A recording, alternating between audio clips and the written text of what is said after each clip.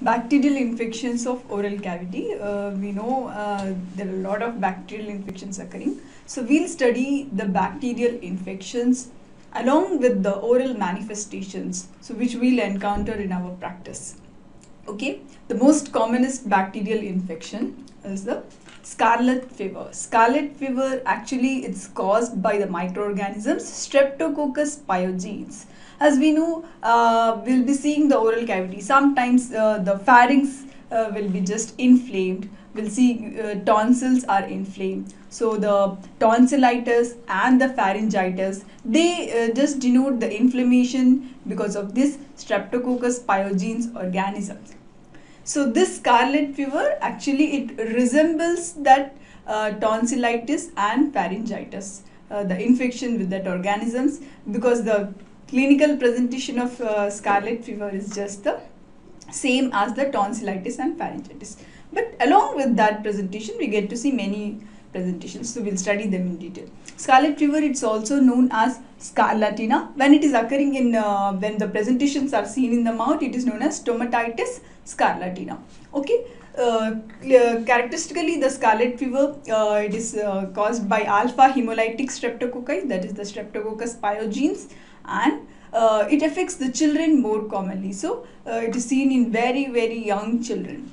So the incubation period after uh, the individual acquires the organism is the 3 to 5 days. So the initially the disease begins with uh, sore throat, fever, malaise, pharyngitis, tonsillitis. Along with the inflammation, you get to see the regional lymph nodes are enlarged. So that is the uh, general systemic symptoms. And when when you are when you are seeing the scarlet fever along with the tonsillitis you get to see a characteristic rash on the skin that rash, the appearance of that rash is diagnostic of scarlet fever. So how is the rash seen? Why the rash appears actually?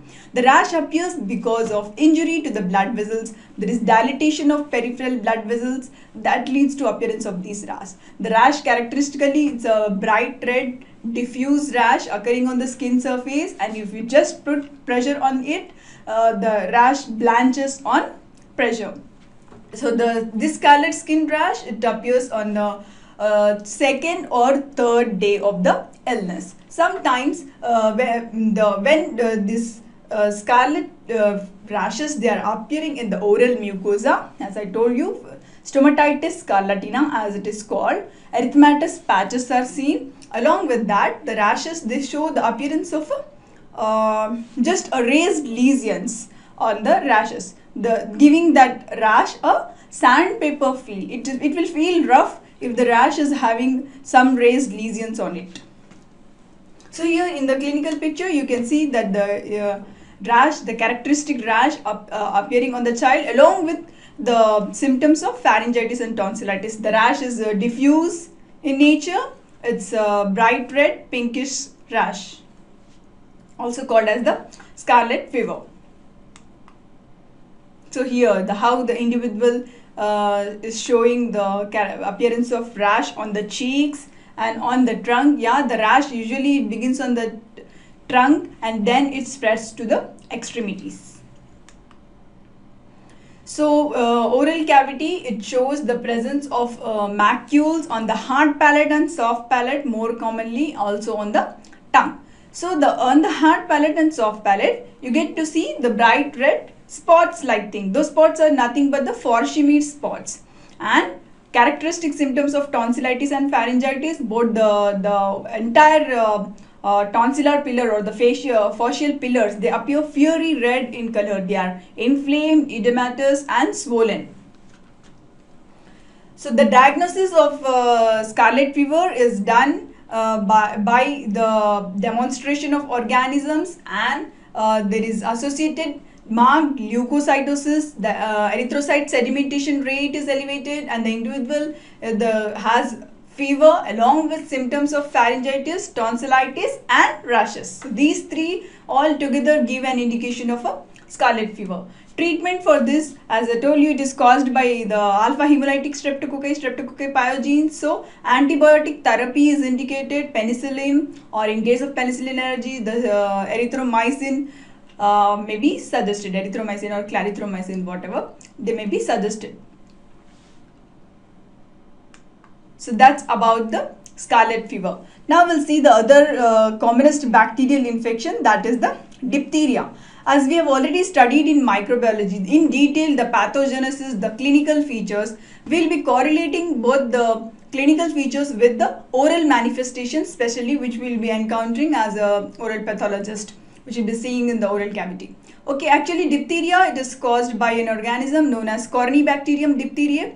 Previously, uh, it was thought that the disease is a inflammation which is associated with a characteristic pseudomembrane on the tonsils or faucial pillars. So the diphtheria cases they were divided into two uh, uh, types that is the diphtheria cases and the diphtheria carriers. Uh, the individuals were called diphtheria cases when the pseudomembrane was present and the diphtheria carriers when along with inflammation the diphtheria membrane was absent carriers when the membrane was absent characteristically uh, the individuals the corynebacterium diphtheria it is transmitted uh, through the droplet infection. It is airborne transmitted disease. The organisms gain entry either through a small abrasion on the skin, on the mucosal surface. So once they, uh, yeah, we are inhaling a lot of substances, right? So when we are come in contact with an infected person, the droplets or the airborne infection, when we get come in contact with it, we just acquire the disease. The portal of entry may be airborne or nasal uh, route and break in the skin or continuity of the surface. So the what happens is once the toxin enters into the body at the site of entry it just remains like that and from that uh, area it just uh, st starts releasing the toxins which are just diffused into the body resulting in toxemia and uh, clinical manifestations. So the incubation period for Corynebacterium diphtheria is nothing but 2 to 5 days. So after initial entry, the organism takes 2 to 5 days for the symptoms to develop. So diphtheria initially, as uh, I told you, the it has a lot of impact on the oral cavity. How we'll study. So the characteristic general symptoms include the appearance of fever, malaise, sore throat, dysphagia, and uh, as the inflammation involves the pharynx and larynx, there will be hoarseness of voice and uh, uh dysphagia. Uh, in severe cases, asphyxia re results because of involvement of the respiratory epithelium. Diphtheria is actually diphtheria organisms. They are actually inhabitants. Uh, they characteristically inhabit the upper respiratory tract. So upper respiratory tract infections are more common here. So difficulty in breathing, respiratory stridor, um, and when it involves the larynx, laryngeal spasms are seen. And uh, along with the presentation of these uh, characteristic features, uh, whenever the inflammation is present, we see that the cervical lymph nodes, the submaxillary or the cervical lymph nodes are enlarged, giving the appearance of a bull neck. So here the child, you can see the clinical picture, the characteristic appearance of bull neck because of the involvement of lymph nodes, that is regional lymphadenopathy. So here the this this is a cutaneous lesion of uh, diphtheria. Showing induration and this is this was actually the site of entry of the microorganisms. The microorganisms uh, the, sometimes what happens is these are spore forming bacteria, right? They just remain dormant for years before you get to see the clinical symptoms.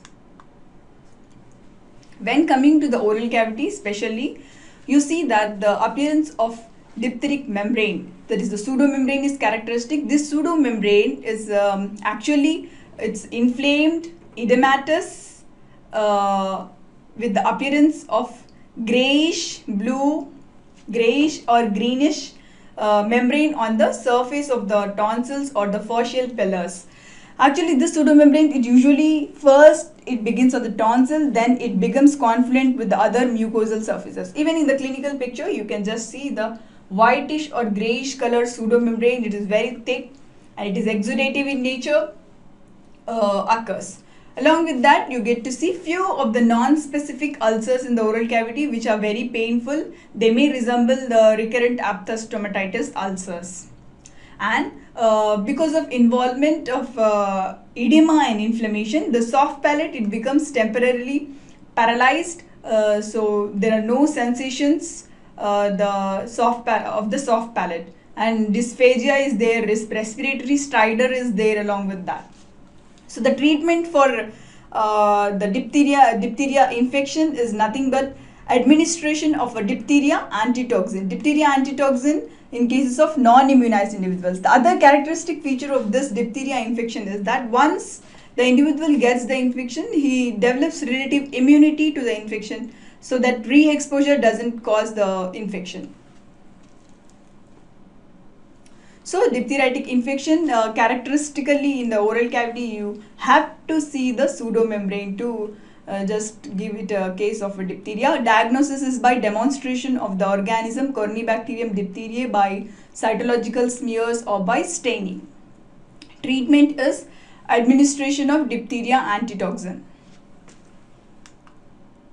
Now we'll see the other common bacteriological infection that is the tuberculosis. Tuberculosis it is a granulomatous infection. It is caused by Mycobacterium tuberculo tuberculi. This uh, tuberculosis as we know when you say whenever you say tuberculosis all associate it with something with the lung infection. So the, the, there are two forms of tuberculosis that is the pulmonary tuberculosis and extrapulmonary tuberculosis. Yeah, tuberculosis also affects the skin, the lymph node, the joint, kidneys, intestines, even the central nervous systems. So we have two forms, pulmonary one and the extrapulmonary one. Mycobacterium uh, tuberculosis, the interaction between the Mycobacterium tuberculi and the host leads to generation of the clinical manifestation. So what's the pathogenesis? What happens is once the bacilli, the bacilli are actually acid fast bacilli. So when they enter into the, uh, when they come in contact with the host immune system, there is activation of macrophages. This activation of macrophages is uh, Actually, the macrophages, they control the growth of the bacteria or sometimes the bacilli proliferate to such an extent, they just uh, lyse the macrophages and thereby there is accumulation of macrophages. This accumulation of macrophages leads to formation of granulomas which are the clinical presentations. Uh, because of activation our body has cell mediated immunity it leads to activation of lymphokines these lymphokine activation they leads to just the degeneration, the development of uh, necrosis of the central cells. That leads to formation of this uh, caseous necrosis in the center of the granuloma. That is uh, called as the Raney's complex. This Raney complex uh, when it is seen in case of uh, hilar lymph node when it's involved the lungs hilar lymphadenopathy okay is seen. Along with that uh, the central caseous necrosis whatever is there it undergoes liquefaction degeneration and the, this the, there is sometimes discharge of this uh, caseous necrosis into the lungs that leads to development of a cavity in the lung. Uh, this cavity it may heal spontaneously by itself by fibrosis or it may persist for few years like that. So the development of uh, uh granuloma is clearly understood. The pathogenesis, how it develops. The clinical symptoms, as I told you, they are just non-specific. The occurrence of fever, malaise, weakness, uh, the discomfort, those are uh, actually non-specific features. They are not indicating underlying uh, bacterial infection by the tuberculosis bacilli. So along with that, the cough, uh, as we have seen, the pulmonary forms of tuberculosis, they are again of three types, like primary pulmonary, tuberculosis, secondary pulmonary tuberculosis and the tertiary or the miliary tuberculosis. So the primary pulmonary tuberculosis along with the characteristic symptoms of fever and malaise, they uh, show the occurrence of cough which is non-protective. When coming to the secondary pulmonary tuberculosis, along with the symptoms of um, fever, malaise and weight loss, you get to see cough uh, which is protective in nature that is hemoptysis that is coughing up of blood is also seen. So in cases of miliary tuberculosis, miliary tuberculosis is nothing but the extensive involvement of lung. So along with the fever, uh, the symptoms of cough, hemoptysis, pleuritic chest pain that is characteristic of the miliary tuberculosis and hemoptysis is severe here. So the extrapulmonary tuberculosis, as I told you, it involves the meninges, the lymph nodes, the bone, the genitourinary tract, the skin, almost all uh, other major organs are affected because of the hematogenous spread of this infection. And loss of weight, uh, along with the symptoms of fever, malaise, weakness, and the cough. That gives and that may give an indication of this disease. Okay, and when uh, the tuberculosis uh, involves the whenever the tuberculosis infection occurs, there is enlargement of the regional lymph nodes. So tuberculosis infections involving the submandibular and the submaxillary lymph node that is nothing but the scrofula. Here the lymph nodes they become enlarged, they are very painful and that leads to uh, development of uh, abscess initially the inflammation it leads uh, the it leads to development of abscess this abscess then progresses ultimately uh, to leading to discharge of pus on the external surface. Uh, that's about the scrofula. So when we see the oral cavity specifically in patients affected by the secondary pulmonary tuberculosis, secondary tuberculosis, secondary pulmonary tuberculosis, the lesions uh, they may be appearing on the tongue characteristically although the lips, buccal mucosa, gingiva also may be affected but tongue is characteristic in secondary uh, tuberculosis. It shows the occurrence of an ulcer which is non-specific, which is very very small and which is very painful. Okay. Irregular, superficial or deep painful ulcer is characteristic of secondary pulmonary tuberculosis. Whereas in primary tuberculosis, primary pulmonary tuberculosis, uh, it involves the gingiva more commonly. The gingiva becomes diffuse, hyperemic and nodular showing the characteristic uh, inflammation. And because the acid fast bacilli are uh, characteristic of this progression of inflammation, there is proliferation of the gingival tissues.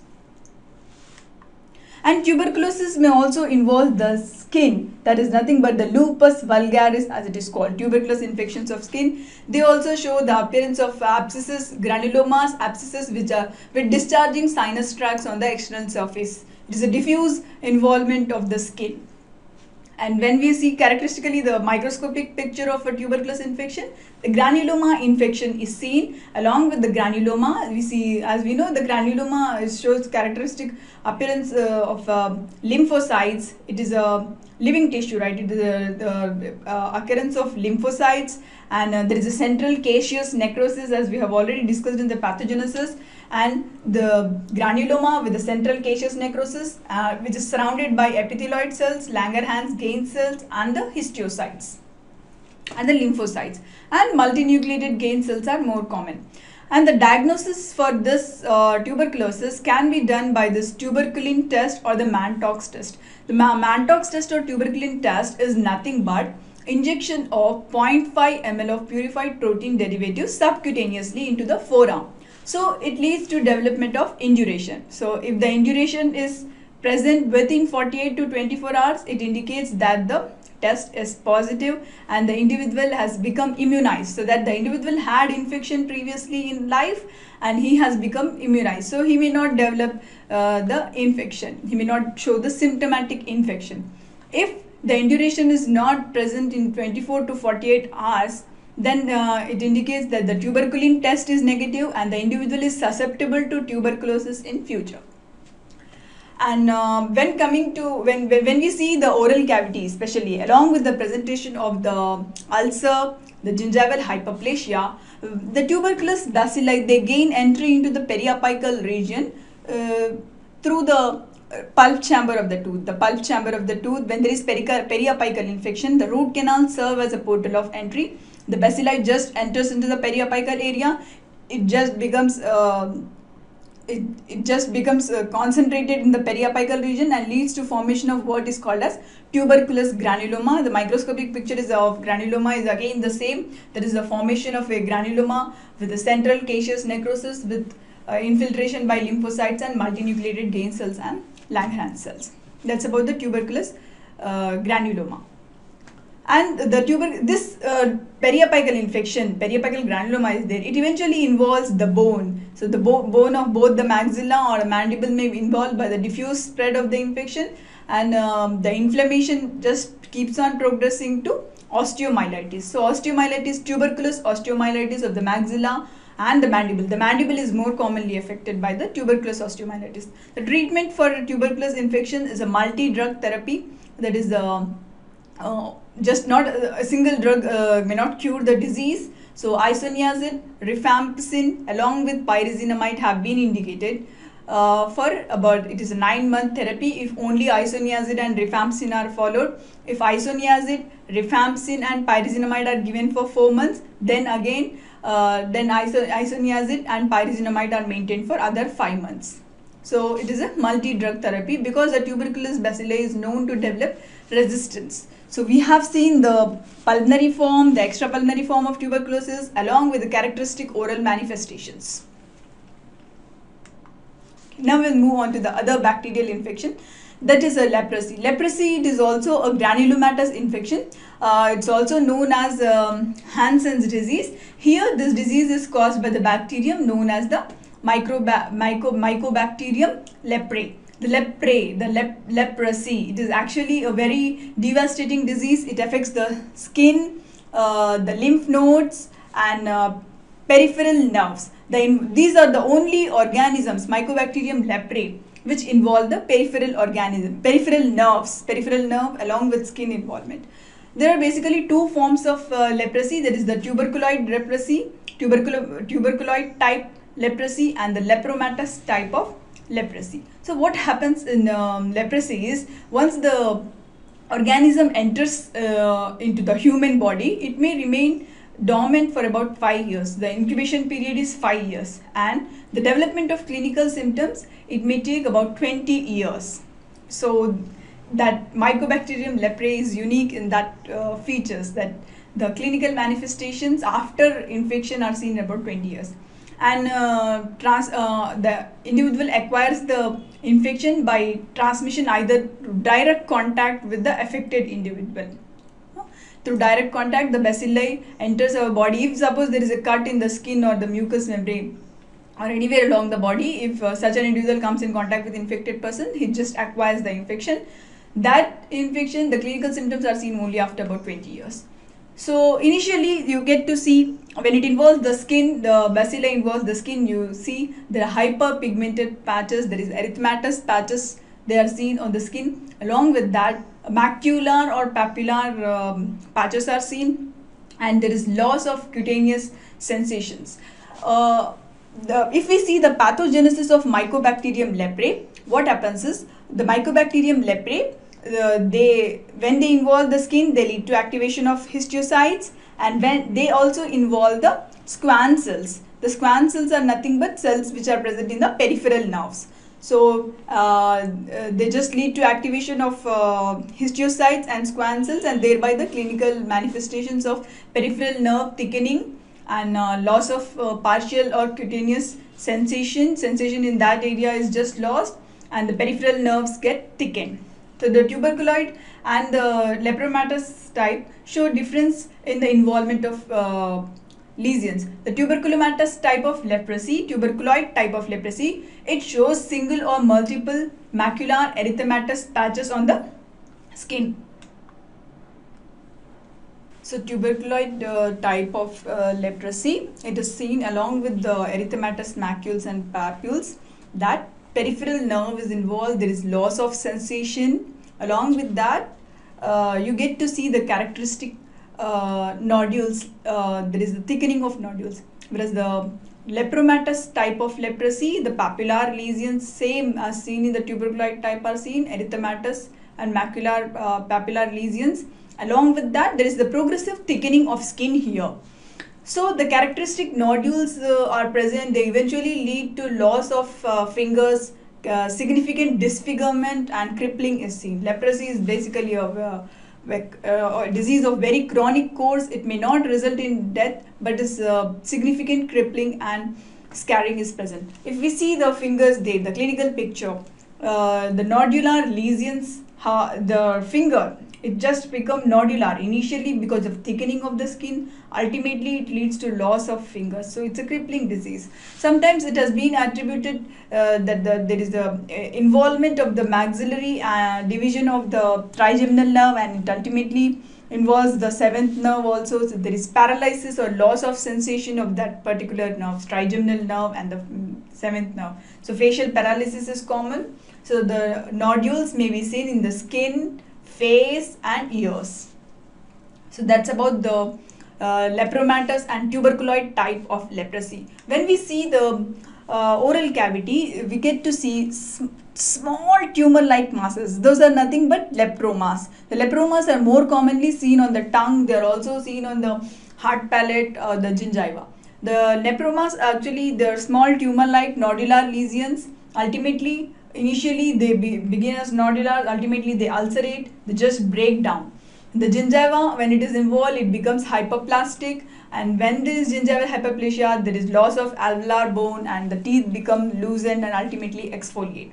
And um, there is a paralysis of this maxillary division of the trigeminal nerve. There is loss of sensation initially. The touch sensation may be lost initially, then it progresses to uh, paralysis. So, uh, and, uh, and when it involves the teeth, when we see the teeth, there is a um, short maxilla, maxilla is shortened, there is hyperplasia of all the teeth, the roots may be shortened. So the hyperplasia, hyperplasia of teeth is seen. So the lepromas, a characteristic presentation of lepromas along with the appearance of nodules which ulcerate and the paralysis of the facial nerve and the trigeminal nerve and the shortening of root and hyperplasia are characteristic of lepromatous lesions. And when you see the microscopic picture, it is a granulomatous lesion, right? So the, the appearance of a nodule is present. The nodule shows collections of the epithelioid cells, the lymphocytes, the histiocytes. Then and uh, vacuolated macrophage sheets of lymphocytes are just scattered in the um, lesion, in the nodular lesion. Those are nothing but lepra cells. The lepra cells are vacuolated macrophages, lysed macrophages. The treatment for uh, lepromatous lesions include the multi-drug therapy, there is the rifampicin, dapsone and clofazimine. These three uh, uh, induce uh, uh, I mean sort of immunity to the infection but the disease is a chronic one it just keeps progressing and uh, it's a very very disfiguring one. So we have seen the oral manifestations of a person affected with leprosy. Characteristically cutaneous manifestations are loss of fingers and toe and the thickening of skin and nodular lesions. Uh, that's about the lepromasy. We'll see the other uh, common bacterial infection also known as actinomycosis. A lot of time we uh, get to see the patients who just have uh, discharging sinuses present uh, on the facial region, on the maxilla, mandible, anywhere on the skin. Uh, I'm talking about the facial region so these discharging facial sinuses may be because of uh, underlying just infection of the surrounding tooth or uh, periapical periodontal infection or maybe a bacterial infection. So the actinomycosis is of uh, great interest because uh, the disease uh, just shows the appearance of a sinus tract with discharging pus on the external surface. The pus is characteristic in that when you study the pus microscopically, the appearance of sulfur granules will be seen. Actinomycosis, basically it's a bacterial infection. It's caused by actinomyces type of organisms. A lot of actinomyces uh, have been demonstrated that is actinomyces israelii, actinomyces viscus, actinomyces naeslundii and actinomyces odontolyticus. Actually, actinomycosis, it's uh, actinomyces, it's um, common inhabitant of the oral cavity. You can demonstrate actinomyces bacteria in the dental plaque, uh, the gingiva, gingival sulcus, in the calculus. Uh, so these are common inhabitants of oral cavity. When so actinomycosis actually it's endogenous infections because the organisms are common inhabitants of oral cavity. Some form of trauma might have occurred leading to uh, development of the inflammation by this microorganisms. So any form of trauma uh, may be the initiating factor for this infection. The, according to Dokeshan, the actinomycosis infections have been uh, uh, divided into the cervicofacial actinomycosis, abdominal actinomycosis and the pulmonary actinomycosis. So we'll see the cervicofacial actinomycosis which has uh, varied clinical presentation on the uh, face, facial surfaces. Cervicofacial actinomycosis uh, it's basically the bacterial infection. It's more commonly seen in younger aged individuals, about 20 years of age, and males are affected more commonly. Uh, the inflammation by this organism initially it begins as a swelling of the affected site the initial the site of organism the organisms actually they gain entry either through a break in the continuity of the skin or the mucosal surface. So once it gains entry, it leads to inflammation of that region, uh, uh, leading to appearance of a swelling. The swelling occurs so that the peripheral uh, the overlying skin it appears hard in nature. It becomes deep purplish in color. Okay. So once the swelling occurs there is induration of the tissue. Typically abscess formation occurs and the abscess just drains to the external surface of the skin. So these abscess uh, whatever pus uh, is discharged when uh, seen microscopically they show the characteristic sulfur granules. The sulfur granules are characteristic only of the actinomyces infection that is the actinomycosis. So uh, um, as I told you the skin uh, when it, whenever there is an abscess or a nodular lesion form the overlying skin it just becomes stretched it becomes hard it becomes um, purplish red in color and uh, because of uh, underlying pus uh, and the, the, the swelling is hard in nature. There is a feel of wood, we get it. And when you see the microscopic picture, as I already told, the granulomatous infection, it is a, the characteristic microorganisms are diagnostic of this lesion. And when, when you are, whenever you are taking the cytological smear for uh, isolation or culture of the organism, you have to take care that uh, the sample, whatever you are collecting, is not mixed with the saliva because uh, the actinomyces organisms are common inhabitants of oral cavity. So once the sample is mixed with saliva, actinomyces definitely they will be demonstrated. So saliva contamination should be avoided and um, when uh, when in such cases where saliva contamination is avoided and the organism has been demonstrated, uh, that gives the diagnosis of the actinomycosis. So uh, characteristic colony of microorganisms are seen. The individual when you see the individual colonies, they show the uh, appearance of um, basophilia in the cells uh, but the peripheral ends of the cells they show only they show the eosinophilia. So that gives the appearance basophilic cytoplasm is present only the peripheral ends of the cell they show eosinophilia and uh, that's giving the uh, appearance of a radiating filament from the center of the lesion peripheral radiating filaments the term ray fungus is applied to it Treatment for this is uh, the nodular lesion with abscess is present, so draining of the abscess. If a sinus tract has been present, just excision of the sinus tract has to be carried out. Along with that, antibiotic administration uh, symptomly, uh, it provides a symptomatic relief and heals the lesion. Uh, progressively. And uh, the other forms of actinomycosis, there is the abdominal myco uh, actinomycosis. Along with the presentation of swelling, it presents characteristic features of gastrointestinal disturbances like the nausea, the vomiting, the fever, the malaise. So along with swelling, you get to see the uh, that the system is involved, the GIT, gastrointestinal system is involved. When you see the pulmonary uh, form of actinomycosis along with the discharging pus uh, swelling and induration, you get to see hemoptysis and cough, more commonly just the cough. Okay. So that was the about the actinomyces infection, actinomycosis infection. Now we'll see the other uh, disease, other infection that is tetanus. Tetanus actually it's a clinical presentation, it's a disease, it's uh, also known as lockjaw disease it's caused by the organism that is the Clostridium tetani. Clostridium tetani is uh, commonly seen in uh, soil. Okay, it's uh, just a common inhabitant of the soil, and whenever uh, the person is having an injury or uh, a road traffic accident or uh, whenever the individual is coming in contact with the soil and there is a break of the skin, there is a break in the skin there is a cut in the skin and uh, the, the that particular area is coming in contact with the soil. The organisms just gain entry and they have uh, effects on the neuromuscular system the muscular system and the general systemic health. So the incubation period for this uh, clostridium tetani is about 3 to 4 weeks. The symptoms of tetanus may be either generalized or localized.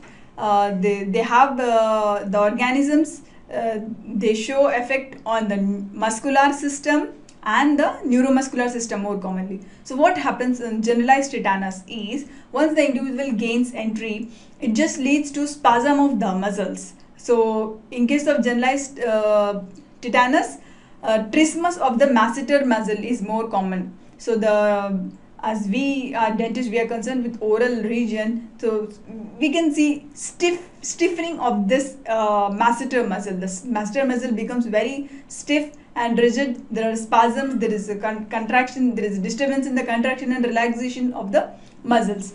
And uh, patient complains of pain in the neck. There is a rigidity or stiffness, and he's unable to swallow. The food dysphagia is present because of marked rigidity, he may present uh, to you as a clinical symptom.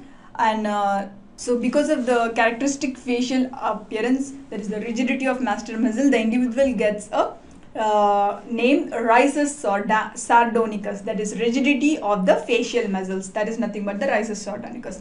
And even if you see the skeletal system is affected, uh, the back of the individual, it just becomes arched because of the marked rigidity and stiffness of the skeletal muscles. That is nothing but the opisthotonus. So here you can see the clinical pictures, the facial expression of the individual. So the, when you see the characteristically the masseter muscle is just a tight or he may have inability to open the mouth or dysphagia.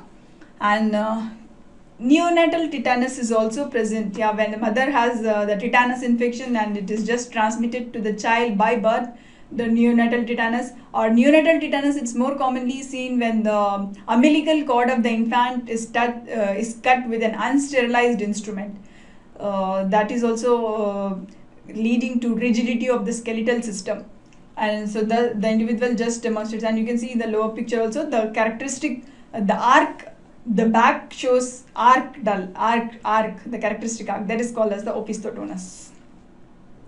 It's not stiff, the back is not stiff. And uh, the, these are the generalized uh, symptoms of tetanus. Uh, and uh, the local tetanus is nothing but the area whatever uh, wherever the organism enters that that particular area shows the spasm of muscles that is the localized tetanus so whatever be because when the tetanus uh, infection involves the respiratory system, uh, when the Clostridium tetani they inhabit in the respiratory tract, they lead to spasm of the laryngeal muscles. Uh, the trachea or bronchi are affected. there is uh, airway restriction. So the clinical management should include attempts to maintain the airway first sedation, airway and nutrition should be maintained, antibiotic prophylaxis antibiotic has to be recommended and prophylactic doses of uh, tetanus have to be given. First the wound has to be debrided of the organisms. Whatever is the source of entry, it just has to be debrided and then booster dis disorders of tetanus toxin have to be given. Syphilis is other bacterial infection. It's uh, caused by Treponema pallidum. Uh, it's also known as Lues disease so Treponema pallidum is the main organism causing syphilis. Syphilis, it's uh, having a lot of forms. There is the acquired form of syphilis and the congenital syphilis. Then the acquired type of syphilis, it's again divided into primary, secondary and the tertiary syphilis. Congenital syphilis are uh, uh, seen in infants. So acquired syphilis. Acquired syphilis is the form of syphilis which is acquired, right? It is acquired because as a venereal disease in course of sexual transmission um, in, uh, by the infected partner. Uh, that's the most commonest cause of acquired disease. So the incubation period, once the organism enters, uh, the incubation period ranges from about 3 to 90 days for the primary stage. So after 3 to 90 days, you get to see the clinical symptoms. The characteristic symptom of the primary stage of syphilis is a chancre lesion. So what's chancre? We'll study. Uh, actually, the primary stage of syphilis is most commonly seen in uh, younger age individuals or uh, adolescents, adolescent or young adults about 20 years of age and males are affected more commonly. So the primary uh, syphilis or the chancre lesion, it is just an elevated ulcerated nodular lesion present either in the skin or when coming to the oral cavity, the tongue more commonly shows the presentation of the chancre. Also hard palate, lips and genital areas are also showing the chancre lesion. It is just an elevated ulcerated nodular lesion. So that's the presentation of a primary stage syphilis, chancre lesion which is seen on the tongue uh, it's showing a local induration. Uh, sometimes you may mistake it for a recurrent aphthous stomatitis, but it is non-exudative. It, it is just fixed to the underlying uh, tissue. It is showing induration and regional lymph nodes are enlarged. Invariably you can see the presentation of other when you see a ulcer in the oral cavity along with the similar chancre like lesion in the skin definitely it gives a diagnosis of a primary uh, syphilis. Secondary stage syphilis uh, the, the chancre actually it just resolves on its own. It may take few months few weeks or few months to, for the lesion to resolve secondary stage syphilis it occurs about six weeks after the primary lesion appears or after the primary lesion is seen. Six weeks after that we get to see the secondary stage of syphilis. Secondary stage of syphilis you can see the clinical picture. It is characterized by diffuse eruptions erythematous eruptions which are seen on the skin. The eruptions may be the macular lesions or the papillar lesions. These macules and papules are painless uh, so just uh, diffuse eruptions may be seen all over trunk uh, extremities face all will be involved. Even the palms and soles are also involved. So the it is characterized by the appearance of mucous patches. Primary syphilis uh, chancre was characteristic. Mucous patches are the characteristic type of lesions in the secondary stage of syphilis. These mucous patches when uh, seen in the oral cavity they characteristically show the appearance of um, papular lesions along with the appearance of grayish white plaques. Ultimately they lead to ulceration. And uh, the the mucous patches they are highly infective in nature. So whenever you, you come in contact with an individual with such uh, lesions as a healthcare professional you will be uh, dentist you'll be operating in the oral cavity and uh, the, if the individual has mucous patches and if you come in contact with that lesion uh, there are high chances of the bacilli bacteria being transferred to you and you're getting the infection so Mucous patches are highly infective and spontaneous remission of the lesion is seen that is the lesion just heals by itself. It may take a few weeks for the lesion to resolve. Lues maligna, it's nothing but the diffuse involvement of the skin. Tertiary syphilis, tertiary syphilis uh, is the lesion which is non-infectious. It is seen about many, many years after the uh, primary infection. That is about 20 years or 10 or 20 years after the primary stage of syphilis. So the tertiary infection uh, stage of syphilis it is characterized by gumma type of lesion. Gumma type of lesion is nothing but a nodular lesion which is granulomatous in nature.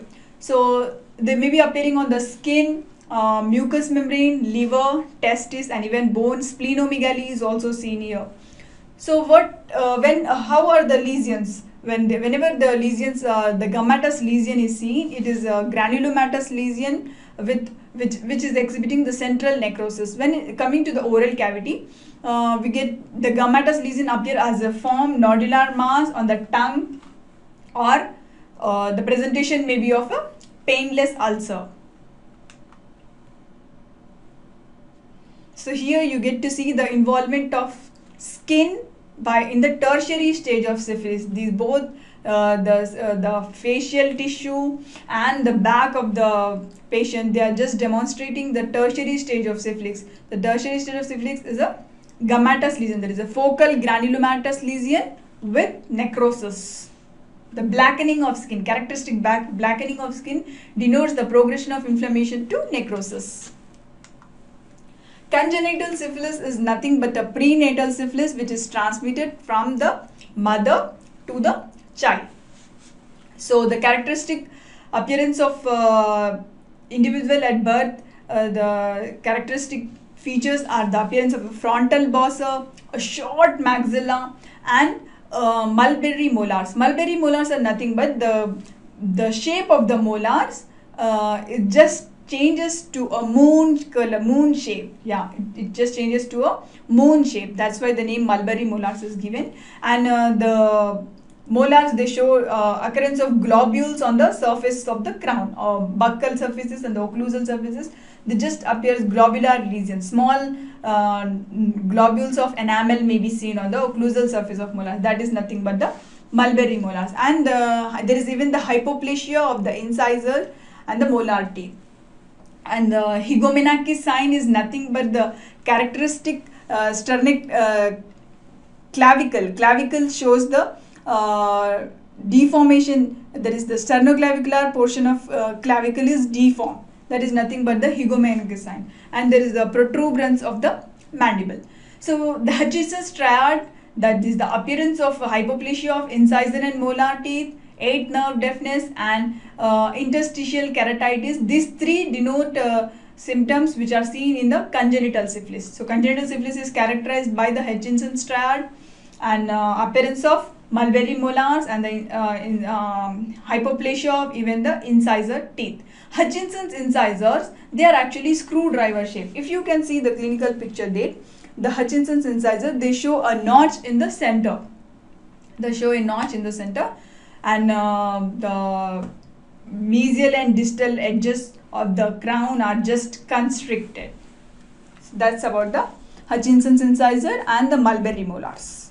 These are characteristic features of congenital syphilis. So what is the uh, presentation, oral presentation as we have seen that is either a nodular lesion or a ulcerative lesion. So when you see the microscopic picture, you get to see that the epithelium, it may be hyperplastic in few cases or uh, it may be ulcerated, that is there is loss of uh, continuity of epithelium. And uh, in primary status, it is particularly ulcerated, whereas in secondary status, it may be either ulcerated or hyperplastic epithelium. And the connective tissue, obviously the progression of inflammation is there. So you get to see the inflammatory infiltrate, uh, chronic inflammatory infiltrate, uh, which is particularly seen around the blood vessels that is the lymphocytes and plasma cells are more commonly seen.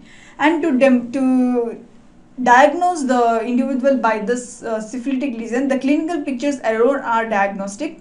So if you want to give a histological diagnosis you have to uh, carry out the dark field examination to identify the treponema pallidum. Examination of smear is done to demo demonstrate the organism that is the treponema pallidum that's about the bacterial infection. Now we'll see the Noma. Noma, it's actually a disease. It's a very, very serious bacterial infection. Uh, it's a devastating bacterial infection. Actually, it's more commonly seen in malnourished individuals.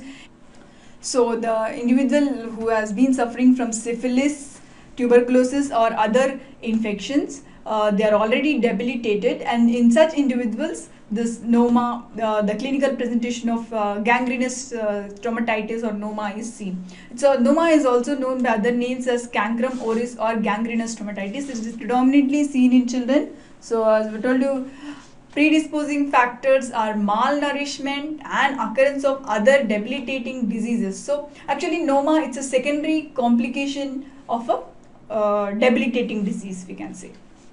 Okay. Initially, the noma it uh, begins with uh, as a small ulcer on the gingiva. So this small ulcer, it rapidly the inflammation keeps on uh, progressing. It just spreads to involve the jaws, lips, and cheeks by gangrenous necrotic gangrenous necrosis. Ultimately, the inflamed and edematous tissue just tends to slough off. Uh, when it involves the palate, the palatal tissue becomes edematous and it just soft tissue just sloughs off. So and uh, the gangrenous stomatitis it's associated with the foul odor uh, the necrotizing organisms are present. Initially, the organism was thought to be just a Vincent's infection. There is acute necrotizing ulcerative gingivitis. We know it's caused by the Vincent's infection, right? So the disease begins initially with as a uh, presentation of acute necrotizing ulcerative gingivitis by Vincent's organisms, and then it progresses to be complicated by uh, involved by other microorganisms, the streptococci, staphylococci, and then the inflammation just progresses very severely. Ultimately, uh, initially the lesion is reddish in color, dark reddish in color. With the inflammation uh, progressing, it becomes blackened in color, and there is a clear line of demarcation between the normal tissue and the edematous tissue.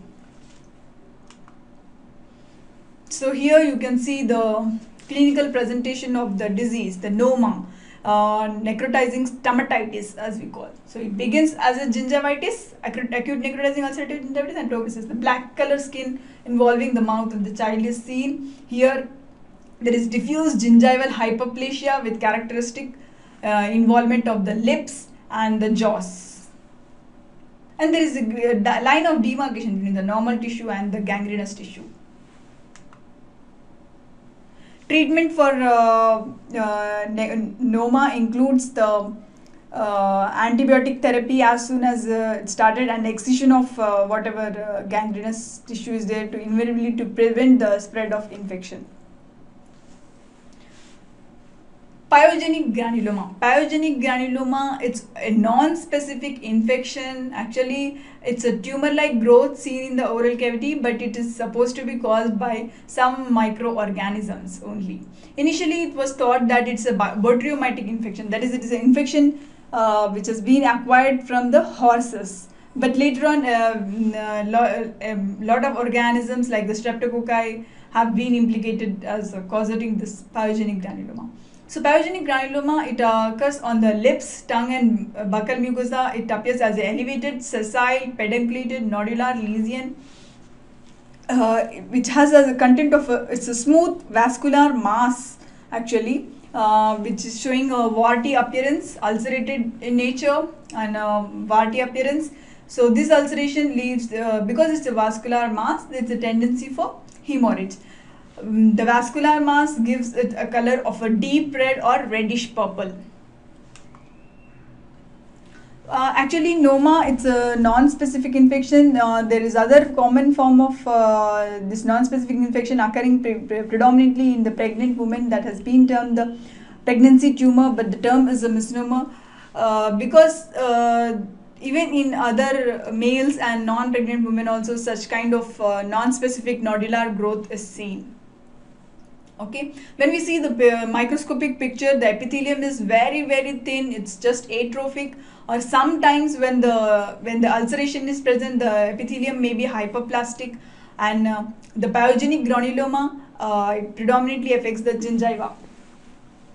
And uh, pregnancy tumor it's seen in the third month of pregnancy. And probably it's actually a tissue reaction to the infection. The presence of a calculus or an irritant in the gingiva, it just causes a or uh, exaggerated response to the irritation and leads to development of a nodular mass which is similar to this pyogenic granuloma.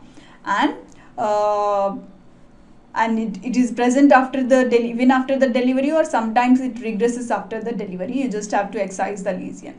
And you have to take care that the uh, area is free of uh, calculus again. Uh, so the presence of calculus and uh, in cases of pregnant women the already lot of endocrine hormones will be acting so they present a exaggerated response to the irritation or inflammation. So this pregnancy tumor is just uh, clinically similar to pyogenic granuloma. So the treatment for both pyogenic granuloma and pregnancy tumor induces uh, surgical excision. Surgical excision. Okay so we can see the microscopic picture of uh, pyogenic granuloma. The epithelium is very, very thin there and there is hyperplasia. Uh, hyper lymphocytic infiltration is present and uh, the endothelium line vascular spaces. There is the blood vessels show proliferation. There is the, uh, the, the blood vessels are lined by and predominantly by endothelial cells and occurrence of uh, fibroblasts seen. And the pregnancy tumor also has an identical histological picture.